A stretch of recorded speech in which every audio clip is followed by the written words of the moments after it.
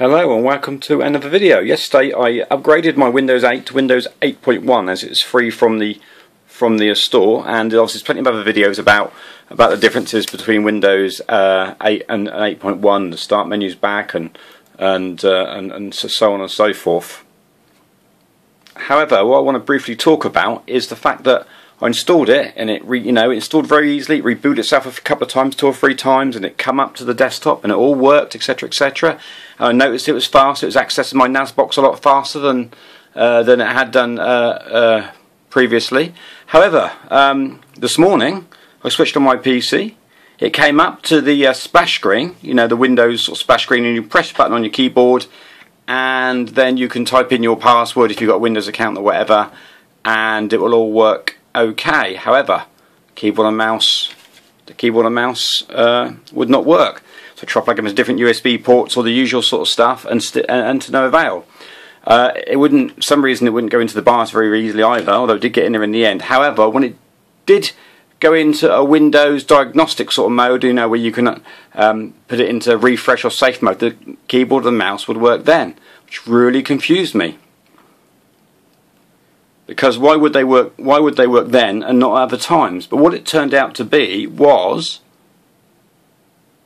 so as I said earlier if it come up to this screen uh, it would uh, the mouse and the keyboard would uh, would, uh, would actually work.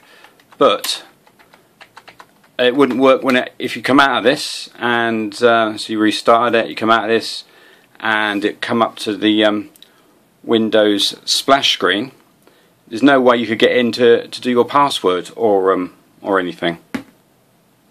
This was it in my case, and no matter what I did with the keyboard, no, no matter what I did, I've unplugged it now because I've got, got it working.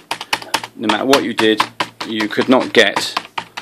That's that was it, and the mouse wouldn't wouldn't work either. Obviously, it does work, and I can go I, I, can go into it. And this is how I solved it. This is my Asus uh, BIOS and what it was I have to go into advanced mode. My mouse isn't working. What a pain. Um, so I had to go into advanced mode. There we are.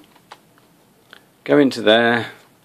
Go along to I think it's advanced. And where was it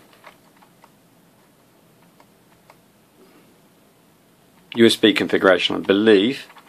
And I had to go to Intel XHCI mode. And the options I had it was set to smart auto. And I had to set it to I don't know if it'll work on the other ones auto enabled or disabled but I set it to disabled. Now it's to do with USB free and also for the legacy but I so I don't know if I stop USB 3 working I don't think so. You can uh, say so in the comments if you uh, if you know uh, much more about this, and also what XHCI mode actually um, uh, well what actually does and stands for. However, I did that, and then I um, saved it. Obviously, um, I come out of it. Where are we? Save changes and exit. In this case, I'm discard in case I've changed anything else, which I haven't, and it should just boot up nicely to to the desktop. Exit I would have saved it obviously, but in this case not. And we can log in. Anyway, I hope that helps in case anybody else has been tearing their hair out with this, with this exact problem. It might just be Asus motherboards. Hopefully Windows or uh, Microsoft will, will, fix this uh, with some sort of update or something soon and nobody else will have this problem.